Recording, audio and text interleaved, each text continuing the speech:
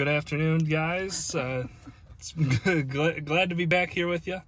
Um, you know, we're all about the the home cooked, the natural, the uh, organic, the good food, um, especially feeding Theo.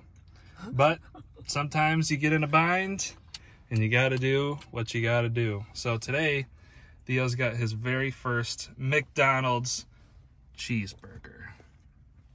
And he's unsurprisingly loves it. I mean, why why wouldn't you love it? It's it's literally designed to taste good in a lab. So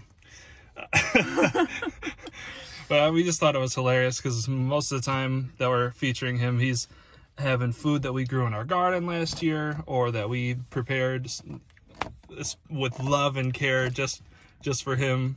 Um, and then this is such a juxtaposition to that.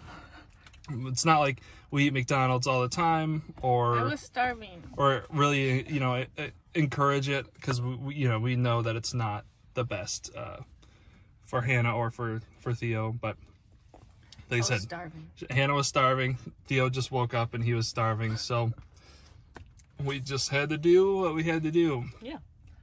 It's one time. He's fine. it's one yeah exactly so again it's just a very rare occurrence that we that we do this um it would be a problem if we were having mcdonald's every single day you know for gotta do. It's fine. multiple times um but yep try to do your best but sometimes you just got to make do with what's available and this was what was available when we needed it ASAP.